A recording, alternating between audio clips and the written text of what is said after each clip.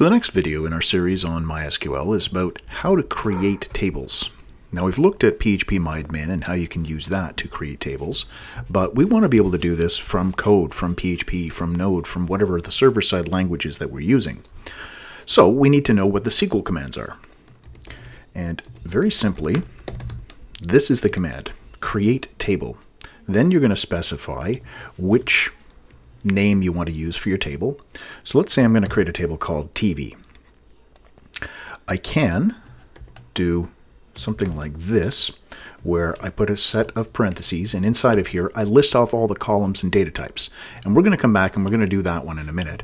But first of all, I wanted to show a slightly simpler one, which is if you want to copy what some other table already has, you can do this. You can say create table with the name, and then use the keyword as.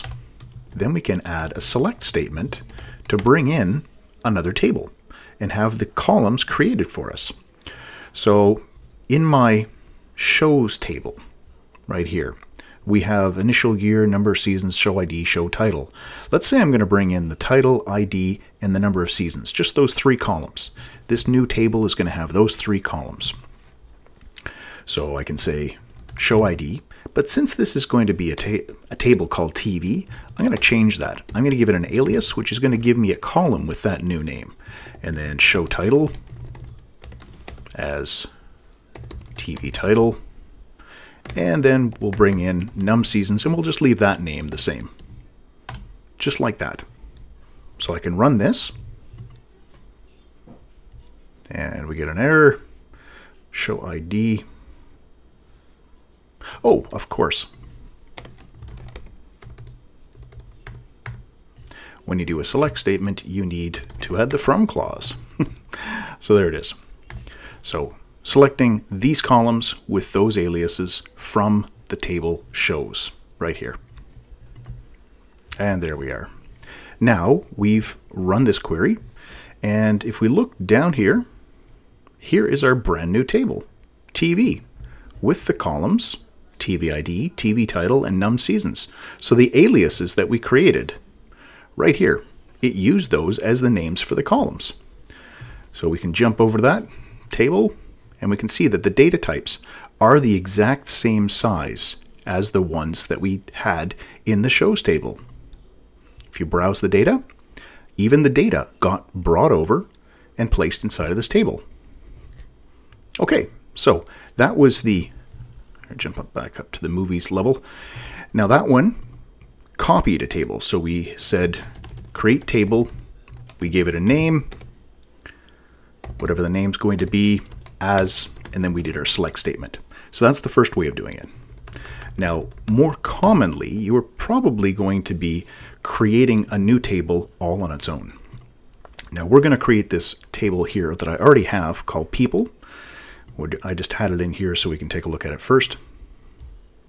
And there's going to be a person ID. This is going to be our primary key. Last name, first name, has account is going to be a Boolean. Birth year is going to be a year. So we're going to create those five columns inside of here. Now, if I try to create a new one with the name people, problem is this already exists. So I can say if not exists. This is a perfectly valid thing that you can add to your query. When you're trying to create a table, or alter a table, or drop a table, you can check to see whether or not something exists. Now, this does exist, so now I'm not going to get an error, but what I will get is nothing happening because the column or the table already exists. So just for this example,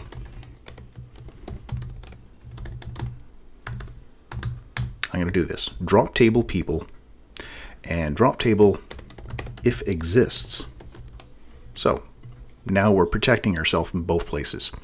We're going to delete the table if the table is already there. And then we're checking to make sure that it's not there. And then we're going to create it. So inside of here, the columns we want, we want to have a person ID column. We want to have a first name column a last name column, our birth year,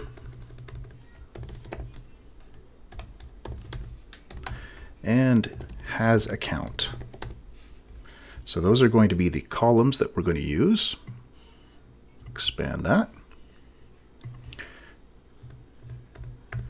All right, now that's just the names. We still need to define what the data types are going to be.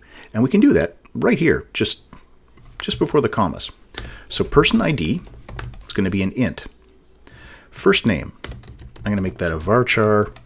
Let's just say 50. Same thing for the last name, varchar 50.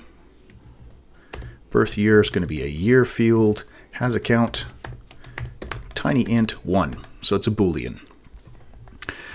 All right, that's going to give us our columns with the data types. The person ID, we want to make that our primary key. And I'm also going to say that this is going to be an unsigned integer. I only want positive numbers. I don't want any negative ID numbers. So int unsigned. I'm going to say not null. And it's also going to be auto increment. So I'm defining all of this in one single line. I'm saying it's a number that can only be positive.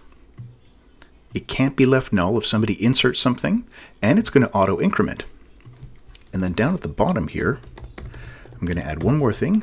Primary key is going to be the person ID field. So I'm creating this as the primary key for the table.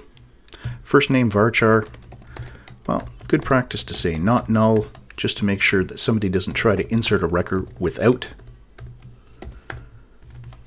first name or last name. And for has account, what we're going to do is instead of just saying not null, we're going to put in a default value. So if somebody doesn't enter this, the default will be zero. So we're saying that they do not have an account. All right, that will create our five columns, assign the data types to them, and the primary key is going to be defined as person ID.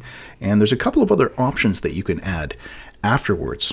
Well, there's actually a lot of options that you can add, but we're going to put in a couple.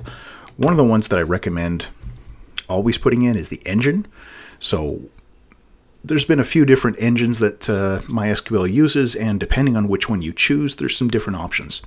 Basically, InnoDB, this is the one that you want if you want to do any sort of transactions if you want to have something that's a little bit more efficient that has row level locking, now what that means is if the database is talking to a table and it's trying to update a single row inside that table, and then somebody else is trying to talk to the same table at the same time, well, if you've got row level locking, it means that only the one that's currently being updated will be stopping anything else from happening.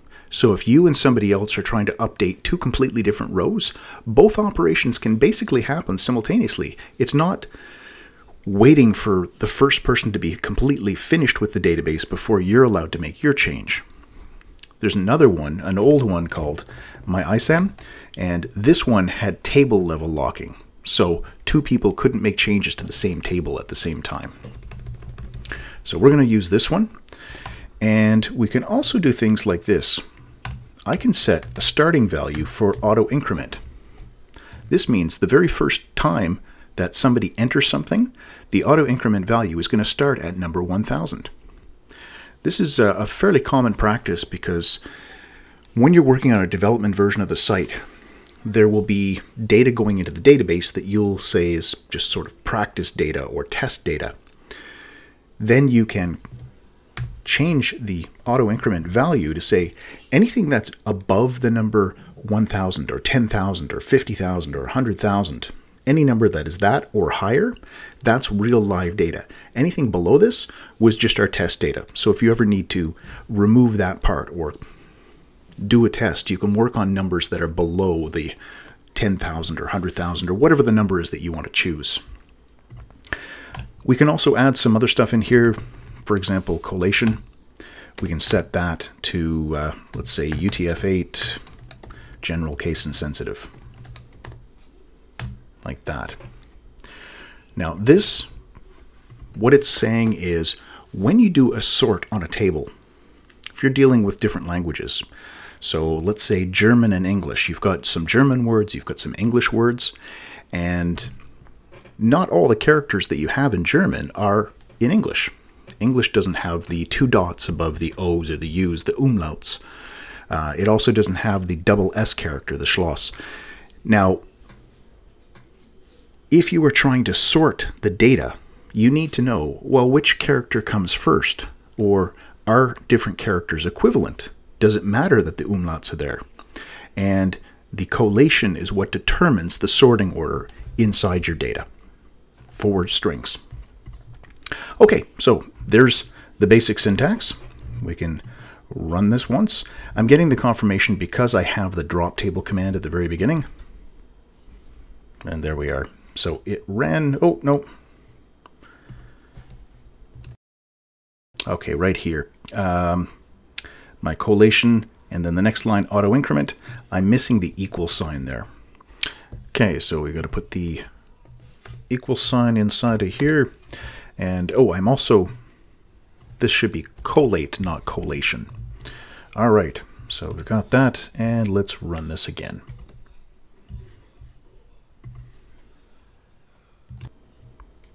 Okay, there we go. So that ran. Sometimes just even a space can be off if you're missing a space or you're missing a comma. Something as small as that can set off your query with any kind of query that you're running. So we have the new table here. All the columns are in there. The indexes. And yes, it has the primary key index that we set as person ID. Okay, so that is the syntax for create table. That's that one, and I'll put the other one on here. Create table.